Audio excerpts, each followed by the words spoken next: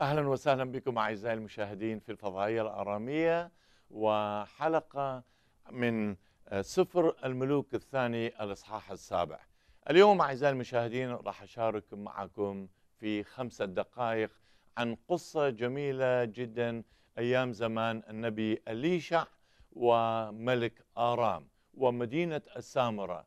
آه، تقدر أن تقرأ هذه القصة في السفر ملوك الثاني الإصحاح السابع ومن بداية الموضوع هو about رفع الحصار وكيف النبي اليشع أنه تنبأ بالفرج لأن مدينة السامرة كانت في آه، ذاك الزمان محاصرة حصار شديد من قبل ملك آرام إلى درجة آه، بحيث وصلت إنه المجاعة إلى درجة إنه الأم تقتل أولادها وتسلقهم لكي تأكل.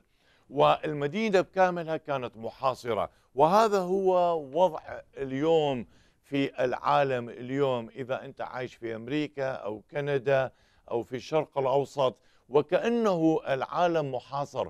وهذا المحاصر هو آه، عدونا. هو إبليس هو الشيطان اللي يريد يحاصرنا حتى لا آه، نربح الحياة الأبدية. وذاك اليوم المدينة كانت آه، مدينة السامرة كانت محاصرة وكان آه، أكو أربعة رجال برص والبرص آنذاك ما كان في ذاك الزمان يقدر أن يعيش لا في السامرة ولا في أورشليم ولا مع البشر. ليش؟ لأنه هو أبرص فكلمة الله تكون وكان أربعة رجال برص عند مدخل الباب فقال أحدهم لصاحبه لماذا نحن جالسون هنا حتى نموت؟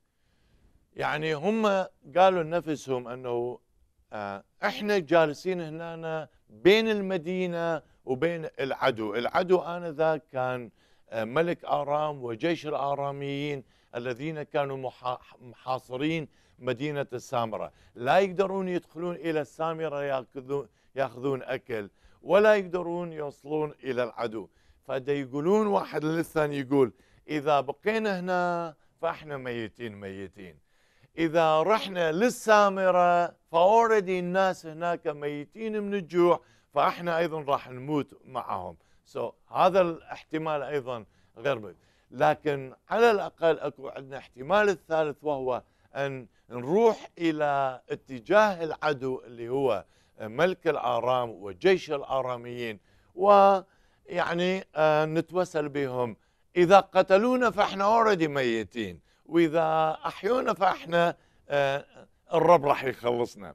فأنا بس أريد أقرأ آه، آية سادسه أو شوية منها. يقول وهم طبعا داخلين إلى منطقة الآراميين أو إلى حدود الجيش الذي هو يحاصر مدينة السامرة.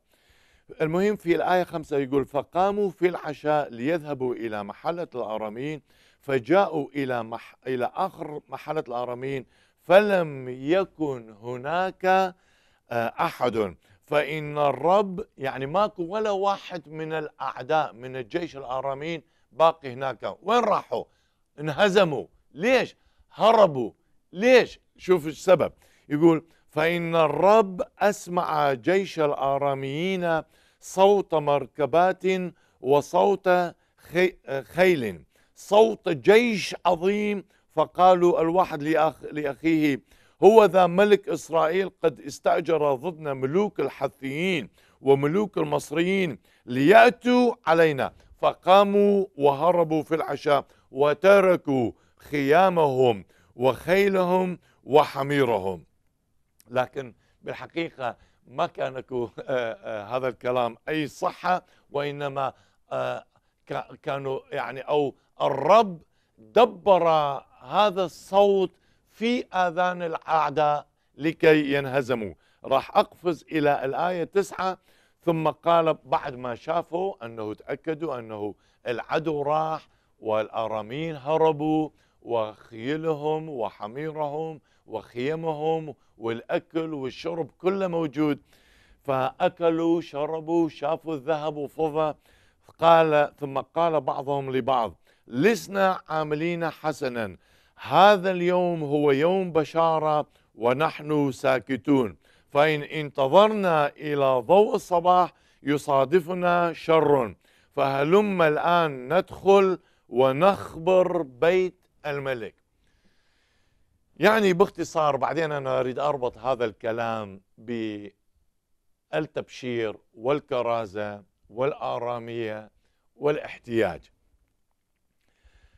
هؤلاء الأربعة البورس هم بورس. يعني إيش تتوقع؟ إذا أكو واحد يعني ضعيف بحيث ما يقدر يسوي كل شيء هو مو الفقير ماديا وإنما المريض جسديا. وخاصة البورس الذي هو يكون عادة معزول عن المجتمع. يعني ما يقدر يختلط لا يروح إلى الهيكل يصلي لا يقدر يروح إلى حفلة لا يقدر يروح إلى تعزية لا يقدر يروح إلى السوق حتى ما يقدر ينام مع زوجته أو في مع عائلته وأولاده. ثم هؤلاء البرص قال بعضهم بعضا إحنا ليس عاملين حسنا هنا واليوم هو يوم بشارة. يعني شنو؟ يعني بعد ما شافوا أنه جود نيوز أنه الحمد لله أنه العدو الذي كان محاصر مدينة سامرة انهزم بعد ماكو حصار بعد رفع الحصار. فيقولون أنه خلونا بسرعة أن نرجع الآن نتوجه باتجاه السامرة وننطيهم الخبر الزين جود نيوز الخبر المفرح فقال فإن انتظرنا إلى ضوء الصباح يصادفنا شرا. قبلها هذا هو يوم بشارة ونحن ساكتون.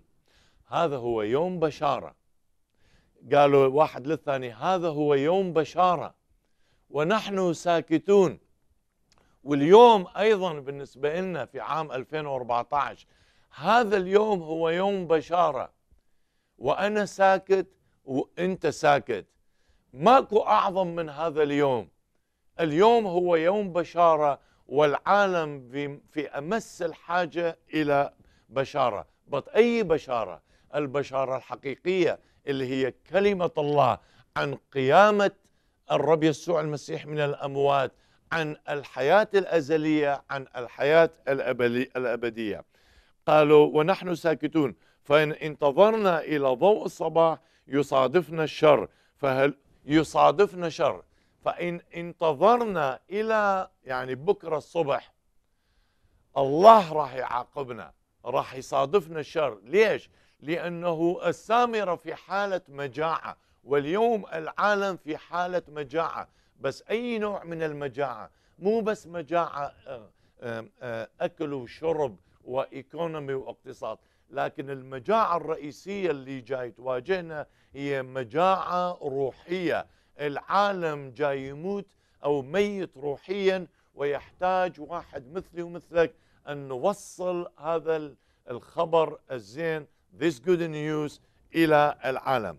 فهلما الآن ندخل ونخبر بيت الملك. وفعلا قرروا أن يتركوا الأكل والشرب والخيول والحمير والخيم والذهب والفضة فضة الأعداء يعني اللي هم الآرام والملك الآراميين الذين انهزموا بسبب خوفهم وقالوا أو تركوا كل هذا ووصلوا إلى بيت الملك في السامرة حتى يوصلوا الخبر السار. The good news. شنو كان الخبر سار؟